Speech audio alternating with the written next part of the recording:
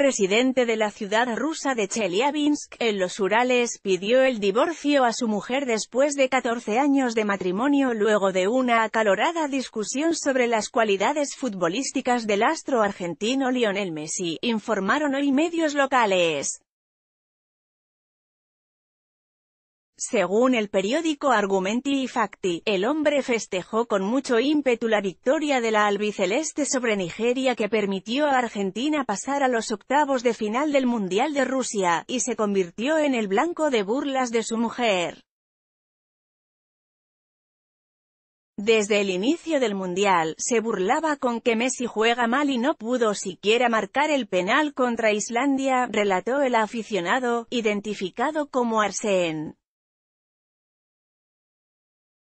Arsen y Liudmila tras la enésima afrenta sobre la estrella del Barcelona, y sus cualidades deportivas, el admirador de Messi recogió sus cosas y se marchó de casa.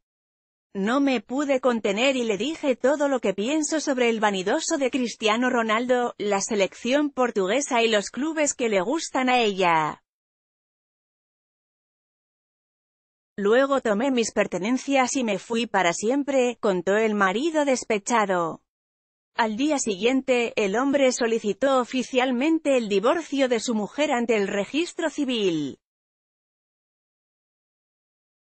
Foto, AFP La pareja se conoció en un bar de Chelyabinsk durante uno de los partidos del Mundial de 2002 que organizaron conjuntamente Japón y Corea del Sur, y desde entonces eran inseparables pese a tener gustos deportivos dispares. Argentina se despidió del Mundial de forma prematura tras perder 4 a 3 ante Francia en los octavos de final. Messi participó con dos asistencias, pero no pudo anotar y se despidió de Rusia con un gol en todo el torneo. En esta nota, Mundial 2018 Messi pareja divorcio casados.